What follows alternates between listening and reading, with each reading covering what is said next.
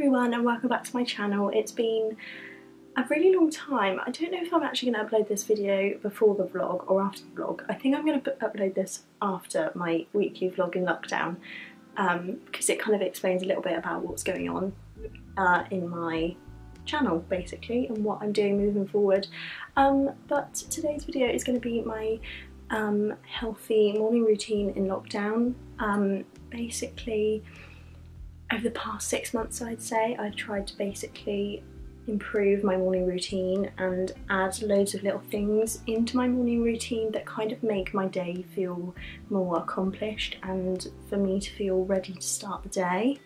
Just to not have a morning routine because obviously like my life wasn't that messy. It was just when I then did start to kind of incorporate a morning routine into my daily routine I just felt 10,000 times better and I can't even explain to you how beneficial a morning routine is, especially to start the day. It makes you feel so accomplished in your morning tasks and even like the smallest thing you can tick off your list and be like, I've had a really productive morning.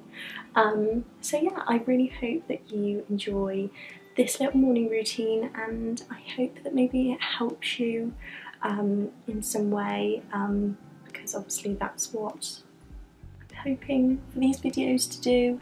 Um, but yeah, I really hope you enjoy and if you'd like to see what I get up to in my morning routine then please do carry on So recently I have just been basically waking up with no alarm. Sometimes if I you know, I have to be somewhere or I'm going for a walk with a friend or, you know, anything like that, I'll set an alarm, but I tend to not set an alarm and just wake up naturally. I find I actually sometimes wake up sooner than my alarm if I don't set one and just wake up naturally to the to the morning light. I don't try to wake up I most certainly don't wake up at five o'clock in the morning. I know a lot of people say it's really beneficial and it's really helpful, but I think because we're going through a lockdown and the days are long anyway, I don't really want to be getting up any earlier than I already do because that would just make the day about 20 years long.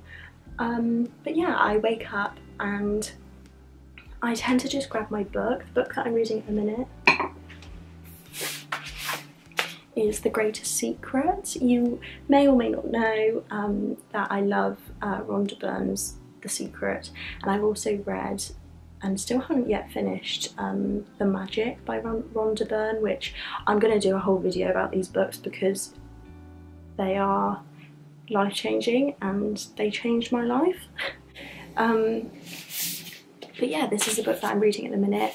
This is the most recent of Rhonda's books that she's written um, and published and I, can't, I think it was probably like maybe four or five, maybe six months ago that this book came out um, and it, it's heavy and deep.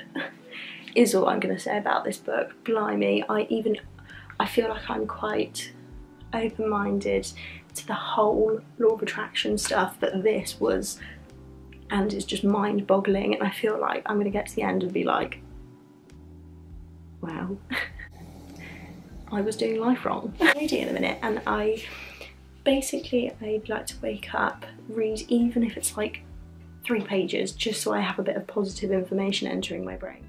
I don't think I, there's ever been a time in my life where I haven't made my bed. Um, if you know me, you know I love to keep my room in literally pristine condition. Um, so if my bed's not made, even when people sit on my bed, I'm like a crease. Um, but yeah, I make my bed uh, and then obviously open up my blinds, do all that sort of stuff and I basically go over to my desk and I sit and I write in my journal. a new little thing that I've been doing and again Sam has literally mentioned to me that this might possibly save years of worry um, and it's helped massively. I, I feel like I'm not at the point yet where I can be like this is how journaling helps you and do like a full video on journaling because I've only just started doing it myself um, but honestly like waking up and just getting all of your thoughts onto a piece of paper, especially when you have a brain like that's just overactive, overthinking, irrational, um, writing down all your things on a piece of paper is just life changing and you can kind of look at the things on the piece of paper afterwards and think I'm actually like this is this is so silly of me like why am I thinking all these stupid things? Um, and it kind of makes you realise like everything's good um, but yeah I've been kind of doing that religiously and even throughout the day if I get like worries or like thoughts that I then overthink and OCD about, I literally just open up my journal and I just go. And sometimes I feel like two sides of A4 and I'm like, oh my god, I have so much stuff and I just write it all on the paper and it seems to kind of help. um, especially when you have so much in your brain that you just need to have a little bit of a release, it's really good. So that's what I've been doing and making sure I do that every single morning. Even if I am even feeling like pretty good, I just kind of write, you know, had a really good sleep, I'm feeling pretty good, but I just have to remember these things. Um, and yeah, journaling and writing down my thoughts on paper has massively helped.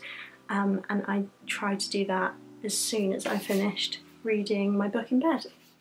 And sometimes when I finished um, journaling, journaling, I'll go downstairs, make a coffee. I try to drink a glass of water with my coffee because I don't drink enough water and the coffee makes me really dehydrated sometimes. Um, and sometimes I'll just take my book downstairs and just sit in the living room and um, read my book downstairs with my coffee. Um, and then once I've done that, I'll come upstairs and do a workout. Um, but if I'm doing, if we, me and Kelly are going for a walk up the hill, I won't do a workout because the walk up the hill is just workout in itself, like a major workout and it really hurts your bum. Um, so yeah, once I've done that, I will have a shower. I pop on um, my gym kit, most likely leggings, like this with these socks um, and either a cardigan or a jumper um, or if I'm going for a walk like a thermal or something then my coat and my scarf and my hat and I just make sure I pop on a little bit of makeup like today I've um, got a bit of the FM foundation on which is really good and it doesn't even mean I need to put concealer on um, it just makes me look a little bit more awake um, and yeah me and Kelly then go off for a walk up the hill and I can't lie it's honestly so life changing to just go out for a walk. And I know that some so many people would say like, oh, exercise helps with your mental health. And I used to think, like, please tell me how that's gonna help. Um, but honestly, it does. It helps you feel just so much more accomplished. Like me and Kelly walk up um, this really steep lane and then we get to the top of um, the hill and then we walk back down the hill and it takes us about an hour, maybe more sometimes. Um, and you know, even though we maybe, sometimes we go at like 11, so by the time we get home it's lunchtime and you know, you feel so good because you've done something with your day. And because it was such I guess because we've been out for like an hour, it takes up time, you know, you get home, it's time to have lunch and half the day is already gone. So if you're struggling like with the whole, you know, the, the day is just dragging, um, when you fill your day with things, even if it's the smallest of thing, it can sometimes just make you feel so much more accomplished and like you've actually done something with your day. So I highly recommend going for a walk. It doesn't have to be uphill, it doesn't have to be a workout. Um, but even like going for a walk around to the shop or something or just walking is just nice. um, and even being in the fresh air and just taking in like the scenery, um, it's just lovely and I highly recommend walking in your morning and adding it to your morning routine. So usually when I come back from the walk um, or I've done my workout in my bedroom, I'll just sit and basically fill in my little gratitude journal on my iPad and also um, plan my day uh, literally with the times and um, my to-do list for the day and honestly writing a to-do list is probably one of the best things that you can do in lockdown to make your day feel more structured and just a little bit more accomplished. Um, even tiniest things like I need to paint my toenails and hoover my bedroom.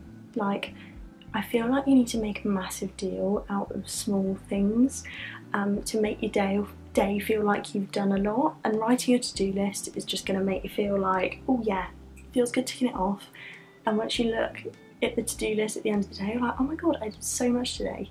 Um, so yeah writing a to-do list planning your day um, helps massively. And that's what I also do within my morning. I try to fast for the morning but I do still sometimes have coffee which obviously means I'm not technically fasting because I put milk in my coffee but I tend to not have breakfast. I find this helps with my bloating.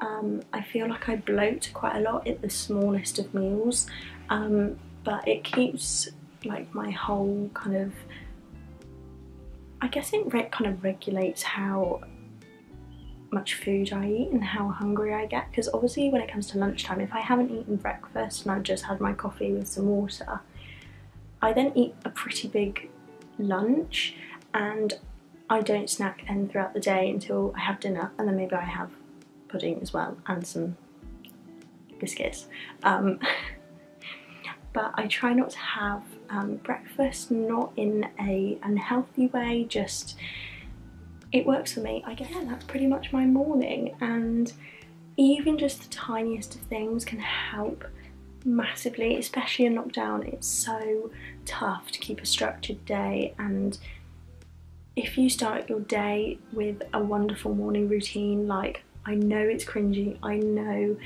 people probably say it and you probably think it doesn't help, but I can't even tell you how much having a good structured morning routine can literally put you in such a better mood for the whole day, which means you accomplish so many more things. Um, but yeah, that's my morning routine. Uh, it's not very special, but I feel like it works for me. I feel like I've been trying to find what works for me for a long time and I've kind of incorporated a morning routine more so in the past year I think of my life and trying to find what's good for me. Obviously we're back and forth with work so my morning routine obviously changes when I do go to work, when we're allowed to go to work. Um, but this is what's working for me right now and I'm having a good time. So I think that's everything I have to share with you in this video. I feel like I've probably forgotten something of my morning routine but um, yeah I really hope you enjoyed it. I hope you um, maybe took something away from the video um, or maybe try and do something and incorporate it into your morning routine or even just think maybe I should start doing a morning routine. Um, but obviously I'm not saying you have to do these things. This is just what I do personally to help me. Um, because I know everybody has different ways of doing life. Um, but for me this is what I found has helped and worked a treat. So yeah, I really hope you um, enjoyed this video. Um, if you'd like to see more of these sorts of videos then please um, subscribe if you haven't and I'll see you next time. Bye!